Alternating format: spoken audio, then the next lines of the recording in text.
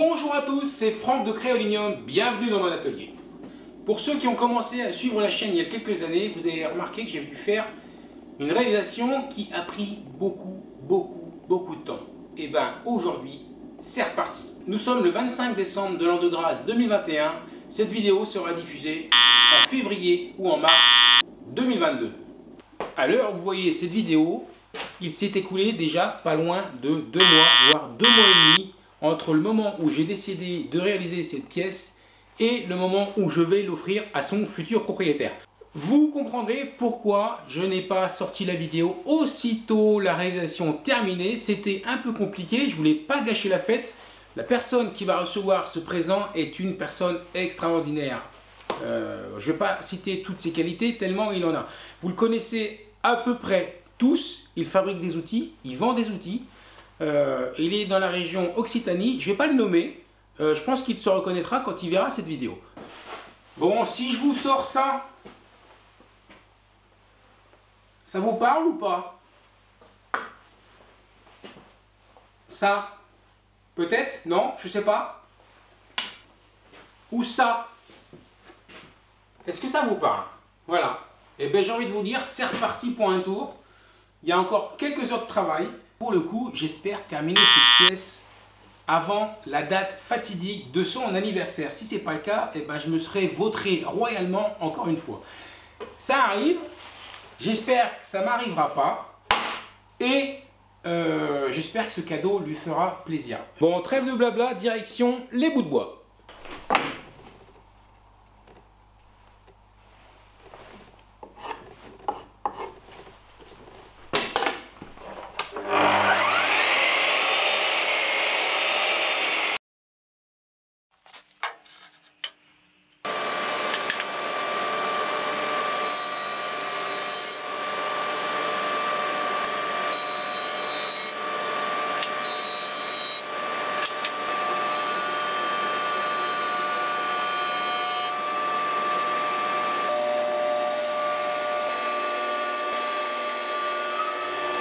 Je me suis aperçu que j'avais pas assez de, de noyer, donc je suis reparti sur du frêne. Frêne, j'en ai à foison. Je vais pouvoir continuer mes pièces tranquillement.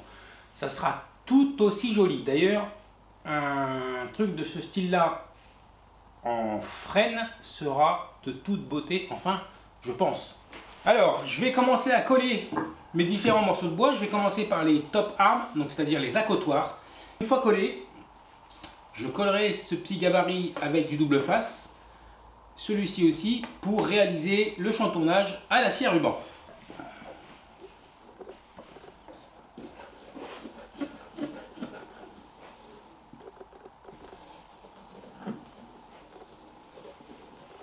J'en profite pour vous donner une petite astuce. Alors c'est un coiffeur qui, qui me l'a donné d'ailleurs, qui commence à travailler le bois. Euh, il m'a filé des espèces de brosses pour faire les couleurs sur les dames, vous savez. C'est du silicone, la colle une fois qu'elle est dessus, et eh ben une fois qu'elle est sèche, elle s'arrache facilement. C'est tip top. Franchement, je vous le conseille. Alors, vous pouvez trouver ça dans n'importe quel magasin de fourniture de coiffeur. Et c'est franchement tip top. Donc n'hésitez pas à investir, ça ne va pas valoir grand chose. Ça coûtera certainement moins cher que les trucs en silicone spécialement prévus pour le collage qu'on trouve dans les magasins de, de boiseux. Et voilà, c'est tip top. Ça lisse super bien la colle. Franchement, je vous le conseille vraiment. Je me souviens plus comment c'était, c'était comme ça.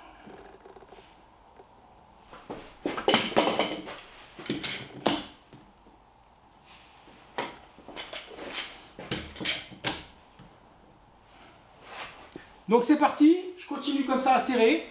Je coupe, ça sert à rien. Euh, vous savez tous coller, vous savez tous serrer les morceaux de bois, donc techniquement il n'y a aucun problème. Bon, ça y est, c'est collé, maintenant il n'y a plus qu'à attendre 24 heures pour pouvoir démouler le cake et ensuite passer à la mise en forme de ces petits gabarits.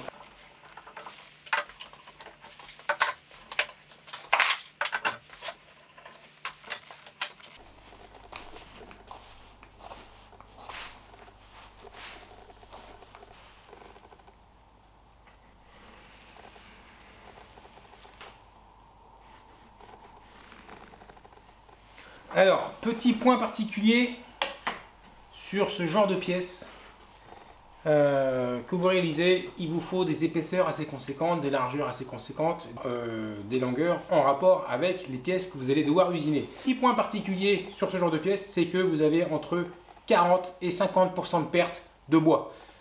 C'est euh, pas moi qui l'invente, c'est le monsieur Malouf qui l'expliquait dans ses vidéos, sachant que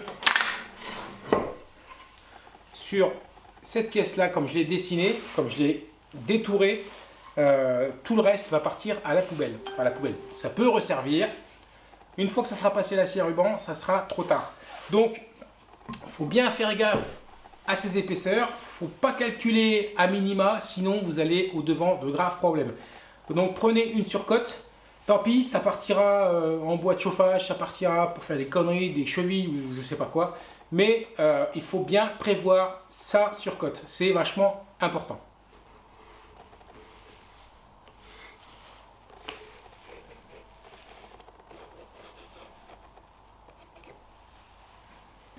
Bon, je vais devoir faire une coupe à 6 degrés. Je vais vous expliquer après.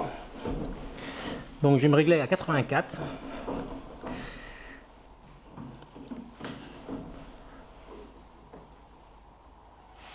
Ici, j'ai un angle de 6 degrés à respecter. C'est pour ça que vous m'avez vu régler l'angle de la lame à 84 degrés. Donc 84 90 moins 84 égale 6 degrés.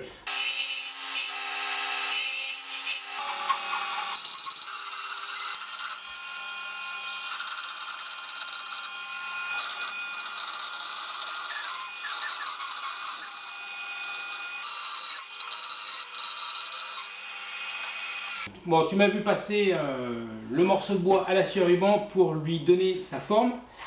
Donc la forme courbe euh, par rapport à mon coude. Maintenant, je vais passer à la découpe pour avoir cette forme-ci. Mais si tu remarques bien, bah, je ne vois plus mon tracé. Donc je vais utiliser encore la petite technique du scotch pour remettre mon morceau de bois. Alors je me suis fait des petits repères pour aligner parfaitement ce que je viens de couper. Voilà. Tac. Et là, à l'aide d'un scotch, je reviens assembler le morceau de bois que j'ai précédemment coupé. C'est pas trop précis, c'est pas un trop gros problème. Si votre scotch n'est pas bien mis, c'est pas très grave.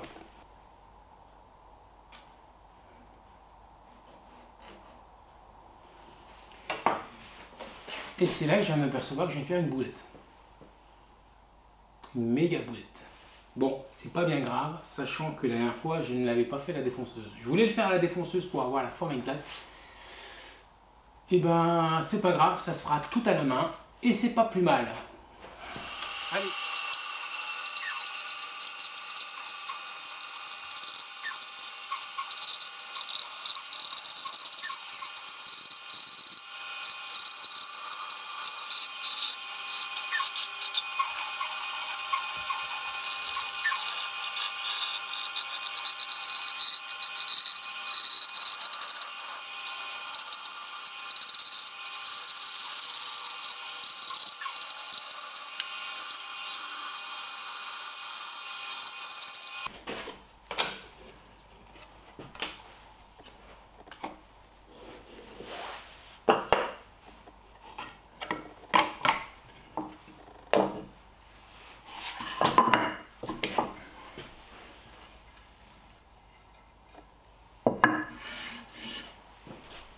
Vous avez vu le travail à la scie ruban, c'est super simple, il faut faire juste super gaffe à ces petits doigts, sachant que quand vous commencez à enlever les parties qui sont...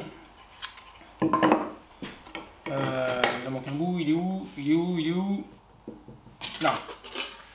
Quand vous commencez à enlever les parties qui sont sur le champ, tac, et eh ben, quand vous basculez votre pièce à plat sur votre table de scie ruban, vous êtes complètement euh, un petit peu en vrac. C'est-à-dire que quand vous allez commencer à scier, vous n'allez pas avoir les mêmes appuis que si vous aviez une face parfaitement plane. Donc voilà, le gros du travail est réalisé, enfin le plus gros, la mise en forme est réalisée.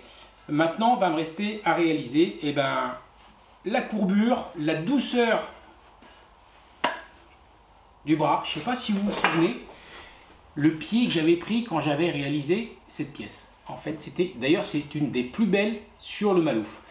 Euh, là maintenant, ça va être moins rigolo parce que ça va être l'utilisation du disque qui va venir sculpter toutes ces formes là. Euh, ça risque de bah, ça risque de boiter, je risque d'en prendre plein la tête. Je suis assez content du résultat, c'est propre, le frêne est très beau. Alors il n'est pas parfait. Je voulais absolument inclure ces défauts dans la pièce. Donc, euh, cherchez pas à comprendre, c'est moi. Pour moi, un bois, il n'est pas parfait s'il n'y a pas de défaut. Alors ouais, je sais, c'est un peu paradoxal, mais euh, je peux vous garantir que ça va être du plus bel effet. Voilà. Je ne sais pas si tu te souviens, j'avais utilisé ce disque-là pour réaliser la forme des top arms, enfin la forme générale de tout le malouf. Pour la petite blague ce matin, je suis allé regarder les vidéos sur le Malouf que j'avais créé il y a quelques années en arrière. Et ouais, parce que forcément, quand vous en faites pas depuis quelques temps, vous avez tendance à oublier les gestes. Je suis allé me remémorer le fameux geste qu'il fallait avoir pour réaliser la forme de ce top arms ou de cet accotoir, accotoir, et non pas accoudoir. Bah c'est pas pas très dur, hein. c'est euh, en fait j'allais partir complètement en vrille et euh, la vidéo mine de rien m'a fait quand même pas mal de bien. Donc si vous voulez aller revoir cette série, n'hésitez pas. Euh, c'est pas tout à fait le même délire, c'est pas la même ambiance, ça a un petit peu changé et en bien je pense. Donc n'hésitez pas quand même à les regarder. vous pourriez peut-être apprendre des trucs. Ouais, ça arrive des fois. Alors il n'y a pas de capot de protection, c'est fait exprès on ne peut pas, enfin je n'ai pas réussi à avoir les formes que je voulais avec le capot. Ça me gênait dans. Ça me gênait quand je passais la disqueuse sur les morceaux de bois. Donc faites bien attention, utilisez la poignée parce que si vous travaillez à la volée, c'est sûr, vous allez au-devant de graves problèmes. Donc on travaille en minimum en sécurité. Je vais essayer de trouver une paire de lunettes parce que aussi ça, c'est bah, ça vole, ça fait des tout petits copeaux et quand ils sont dans les yeux, ils sont très désagréables à enlever. Donc, prudence et mère de sûreté.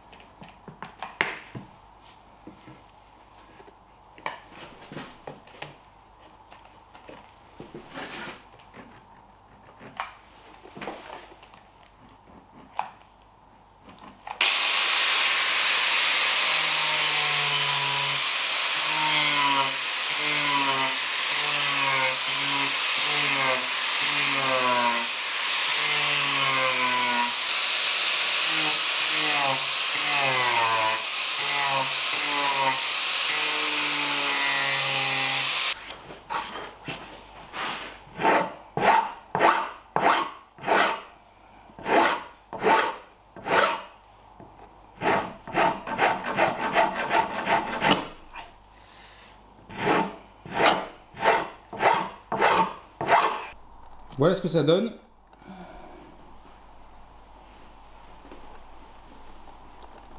Après un coup de disqueuse et quelques petits coups de et quelques petits coups de rap.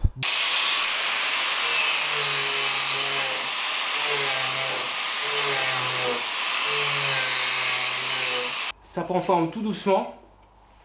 Euh, côté supérieur, côté inférieur, c'est quasiment fini. Il me reste à passer quelques coups de, Rap, petite pub pour la maison Oriou, vous ne trouverez pas mieux dans le commerce. Ça coûte cher, certes, mais ça vous durera toute une vie. Euh, donc, euh, me reste à faire encore quelques petits trucs dessus. Euh, je ne sais plus très bien exactement, va falloir que je re-regarde mes vidéos. Il y a encore beaucoup de matière à enlever pour avoir une forme totalement agréable au toucher, soft, euh, enfin je sais pas comment je peux dire.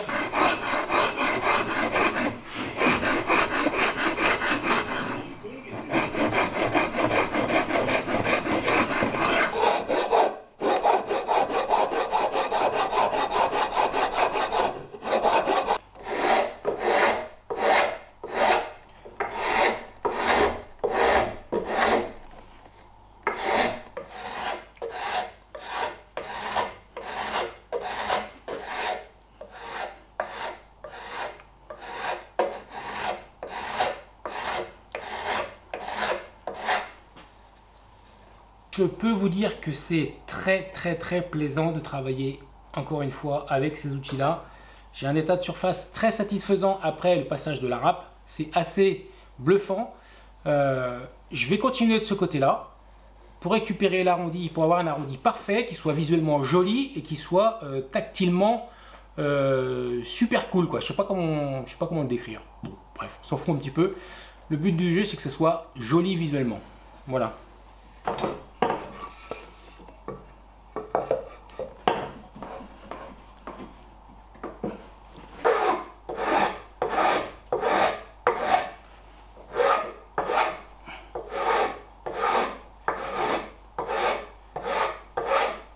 Avec du papier de verre, j'enlèverai les traces de piqûres qu'a laissé la râpe. Sinon, bah, ça va pas faire joli. Mais en l'occurrence, une râpe très très fine comme ça, vous avez déjà un état de finition qui est remarquable.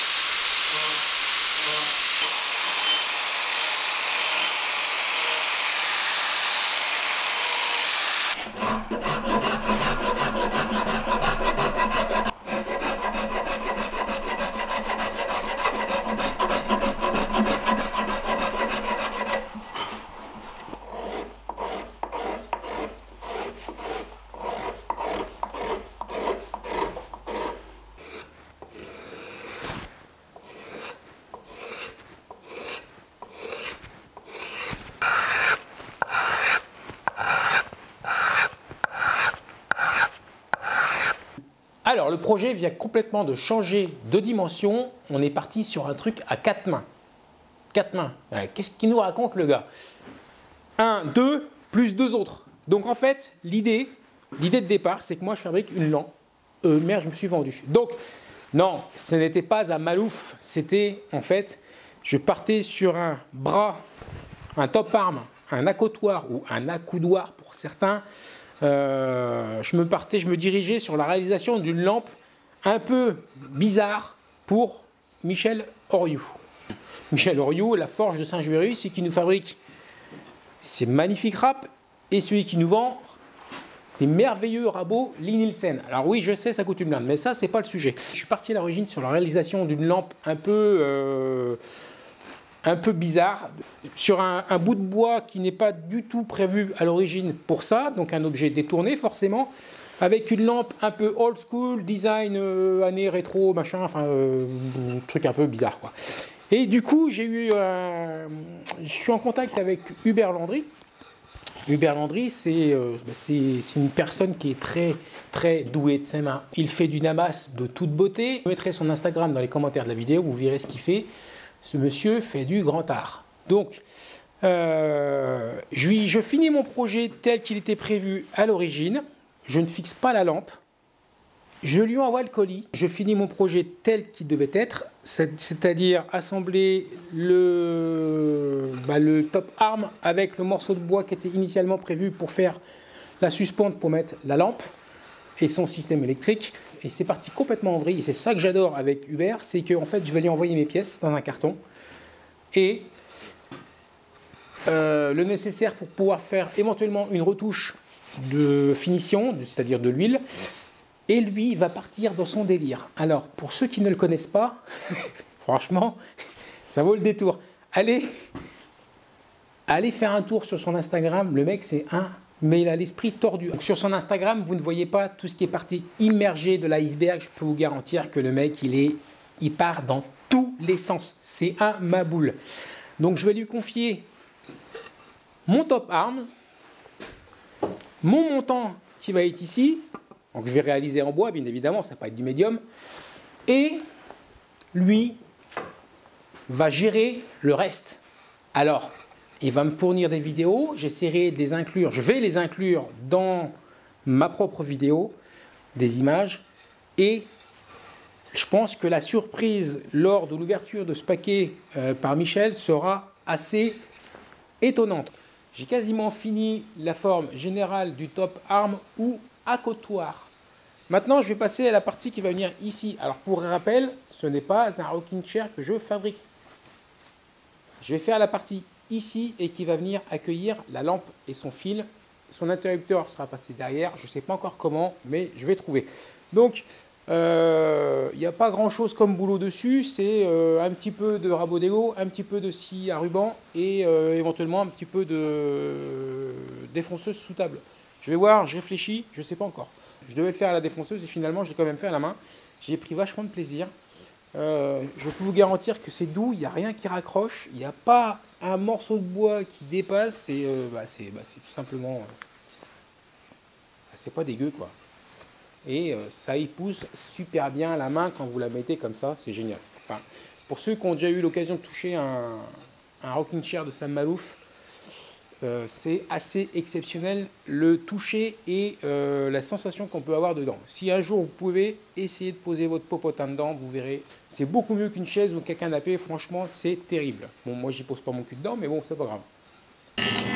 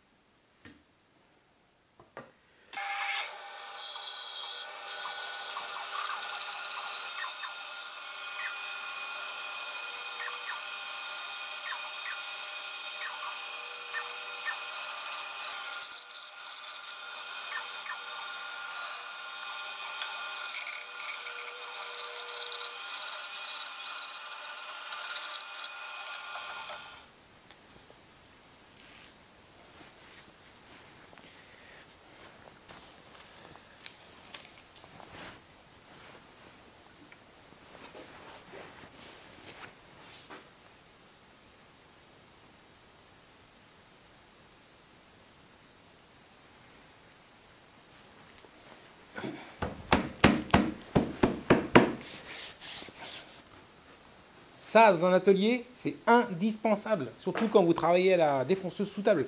Ça vous dépanne, mais un truc de dingue, ça vous évite de mettre des vis, par exemple, ou d'utiliser un gabarit un petit peu euh, biscornu. Là, ça, ça bouge pas. Vu la surface de contact, euh, je pense que je peux y aller. Alors, bien sûr, j'ai bien dégrossi euh, assez finement pour pouvoir passer ma fraise de défonceuse avec mon, roulement pilote. ça ne va pas arracher, il n'y aura aucun problème.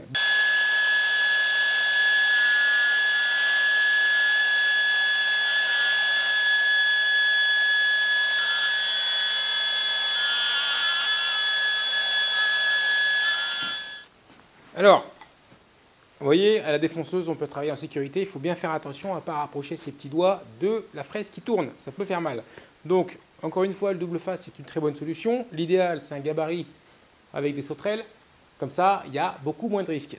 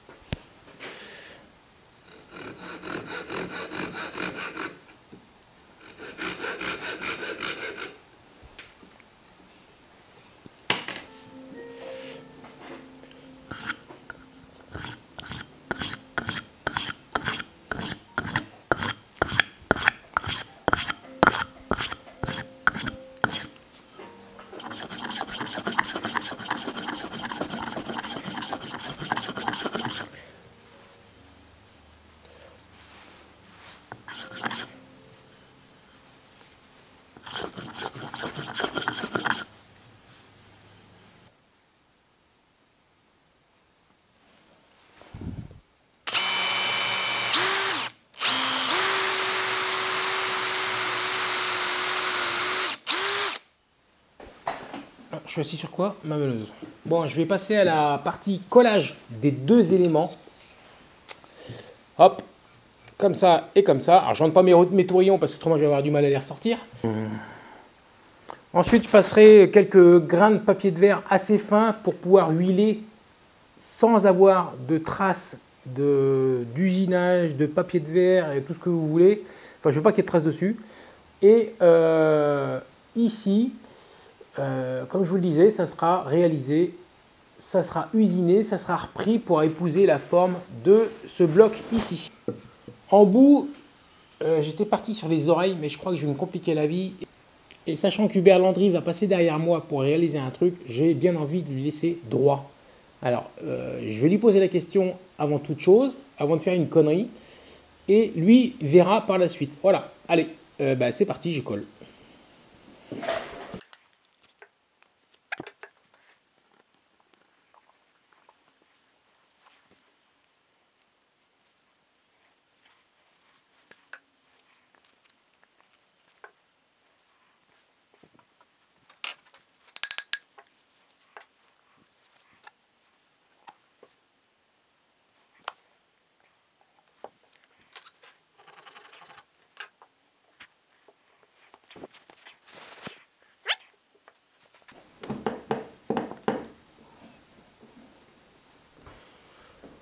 Et maintenant, la petite vis de 100 mm qui va venir verrouiller l'ensemble.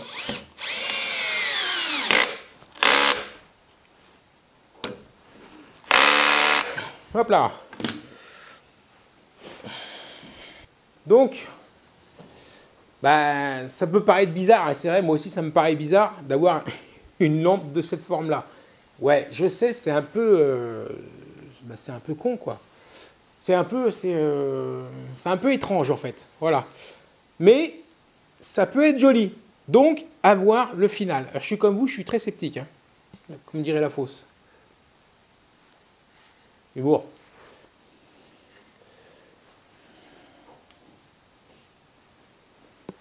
Bon, je vais y mettre un petit serre-joint quand même, histoire de bien le verrouiller. Euh, et puis, euh, bah, et puis voilà, c'est tout. Hein.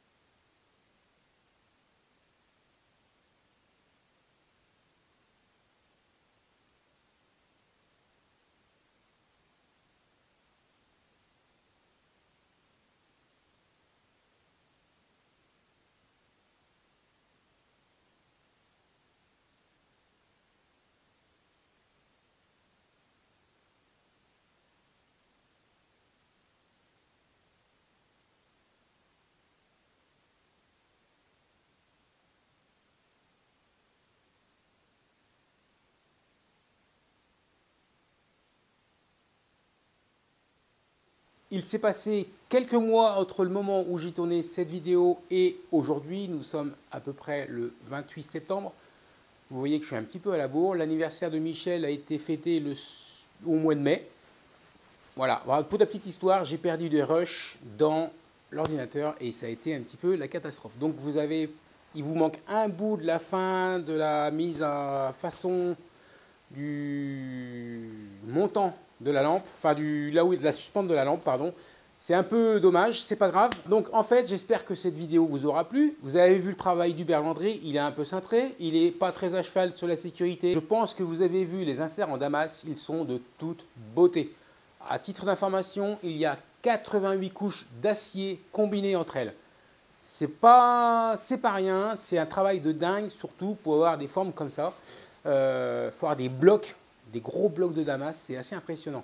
Alors, euh, pour la petite histoire, Michel, quand on lui a offert cette lampe, a eu une petite larme à l'œil. Et ça, ça fait très plaisir. Le support que vous avez vu derrière, en espèce de métal noir laqué, ça va pas avec la lampe, hein, on est bien d'accord. Elle est juste posée au mur sur les deux inserts en damas. Voilà. Donc j'espère que cette vidéo vous aura plu. Si c'est le cas, n'hésitez pas à laisser un commentaire positif ou négatif, comme d'habitude. J'essaye de répondre à tout le monde, bien que j'ai un peu plus de mal en ce moment. Et euh, petite vidéo de reprise finalement, je ne sais pas si ça vous plaît ou pas. Voilà, allez, à bientôt les amis, c'était Franck de Créolinium. Et surtout, si tu veux gagner un sac de copeaux, abonne-toi à la chaîne.